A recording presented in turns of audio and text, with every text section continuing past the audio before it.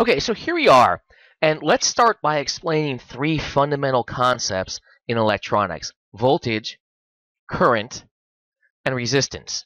Here we have what's called a series circuit with a battery, an LED, and a resistor. As long as the battery isn't dead, the LED lights up. Now, the battery provides a voltage or the electrical pressure.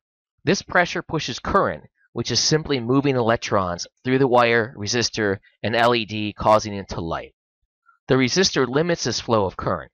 If we left it out of the circuit, the LED would burn bright for a few seconds and then burn out due to excess current. Which brings us to the first takeaway. Circuits usually need some way to limit the amount of current or bad things can happen. As we've seen, electronic components can be destroyed by excessive current, and since current flow generates heat, it can also be a fire hazard. If you're still confused about what all these terms mean, let's go to an analogy we're all familiar with, running water. This circuit is kind of like a water pump with a valve attached to it. With our water analogy, the pump produces the pressure needed to push the water through the pipe. We can think of this pump as a battery in our actual circuit, as they both produce a pressure. One is electrical pressure, and the other being fluid pressure. Next, we see the valve. The valve is like a variable resistor. When it's almost all the way closed, very little water would flow. With the valve open all the way, maximum water will flow. So the valve is analogous to the resistor in our circuit. Finally, we have the water itself. The water coming out of the faucet flowing through the pipe is like the current flowing through the circuit. Just as a current, the electrical circuit does work by lighting the LED, the water can do work if, say, we set up a water wheel at the end of the faucet. Notice that like current, excessive water flow can be dangerous. If we allow too much water to flow at once, the pipes may burst or the faucet may be damaged.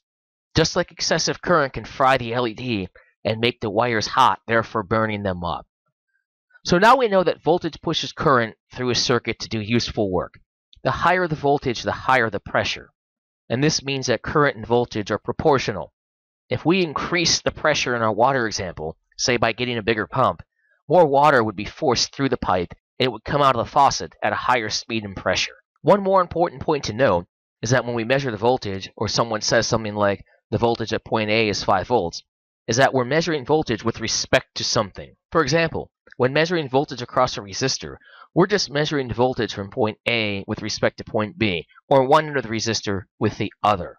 Often, you'll measure voltage with respect to ground, which is the lowest voltage in the circuit, usually 0 volts. So, for example, if I wanted to measure the voltage at point A in this circuit, I put one end of my meter at point A, and the other at ground since I'm measuring the voltage at A with respect to ground. Earlier, I mentioned that our LED circuit was a series circuit. But what does that mean? In a series circuit, current only has one path to flow through. Looking back at our circuit, if we remove the resistor, or maybe it burns open, current ceases to flow because it's no longer a complete circuit. Note that the battery voltage still appears where the resistor was, but current cannot flow in an open circuit, so the LED does not light. Also, it's interesting to note that the same amount of current flows through the whole circuit, assuming it's not open. So, since the current only has one path to follow, the same current that flows through the resistor will also flow through the LED. However, the voltage drop across each component is usually going to be different, unless we have a string of resistors with the same value. In fact, the sum of all the individual voltage drops equals the source voltage, or the battery voltage, and this is known as Kirchhoff's voltage law, or KVL for short. One of the weaknesses of a series circuit is that if one element breaks or maybe a wire gets loose, the circuit no longer works. The solution to this is called a parallel circuit. In a parallel circuit, the current has more than one path to follow. So, if one of the resistors in this simple parallel circuit blows open, current still flows through the other resistors. This is how your house is wired. If it weren't and a light bulb burnt out, the rest of the bulbs in that circuit would also go out. And anyone who's used cheap Christmas lights before is familiar with this debacle. Also, in a parallel circuit, the voltage across all legs of the circuit is the same. It's the current that gets divided up and flows through the various elements. The amount of current through each element depends on the resistance of that element. The higher the resistance, the less current flows through it. All individual branch currents sum up to the source current. And again, Mr. Kirchhoff makes another appearance, and this is referred to as Kirchhoff's current law, or KCL. Finally, we have the series parallel circuit, which is a combination of both. Most useful circuits you'll work with will be of this type. However, the same concepts we already discussed apply. Voltage stays the same in parts of the circuit that are parallel to each other, and the same current flows through the parts that are in series. So we now have some basic knowledge of voltage, current, resistance, and the three types of circuits. But what does AC or DC mean, and what's the difference? DC stands for direct current. Direct current flows in one direction only. AC stands for alternating current, which changes direction periodically. Still confused? Well, if we were to plot the voltage of an ideal battery, which is a DC source, versus time, we'd have a flat line. Here we have a positive DC voltage in the picture on the left and a negative DC voltage in the picture on the right. It's not very interesting to look at, but most of your projects will use DC. Note that while the vertical axis in this picture is labeled voltage, it could just as easily be current. The graphs would look the same, just a flat line. Alternating current, or AC, is electric current first in one direction for a period of time, and then in the reverse direction for a period of time. While most of us are familiar with the AC power supplied to our homes, and many of our appliances run on AC. The power at the receptacle in your home comes out in the form of what's called a sine wave. Sine is short for sinusoidal. This figure here depicts a typical sine wave you'd find at the receptacle in your home. Notice that it switches back and forth from positive to negative continuously. This is where AC gets its name from. It continuously alternates. Physically, this means that at one instant electrons are moving in one direction, then they switch and move the opposite direction at the next instant. This flip-flopping keeps going on and on. One important thing to note is that the AC power in your home is dangerous and can kill you. If you decide to do any sort of project or experiment involving AC, please be safe.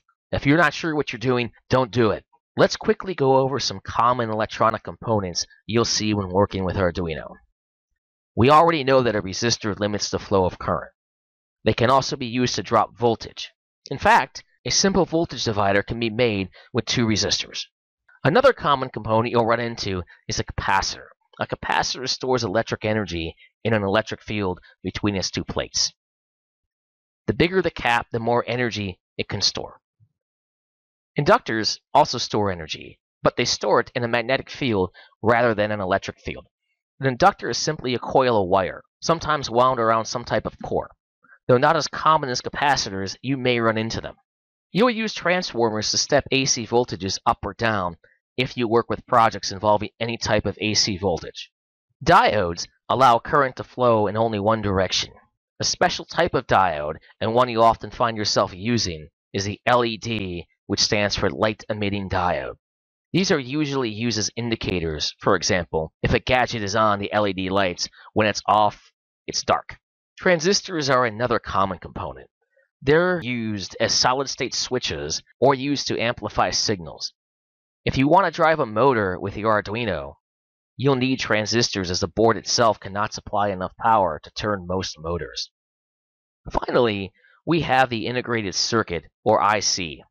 ICs can perform a myriad of functions depending on the IC and what it was designed for. They usually come as black plastic rectangles or squares with pins sticking out of them. In fact, the brains of the Arduino Uno, the ATmega 328P, is an IC, and there are others on the board also. Whew, that's a lot of information. Like I said before, this was not meant to be a complete course on basic electronics. If you're still confused or unsure, don't worry. Soon enough, you'll know about all these components and the basic concepts behind electronics.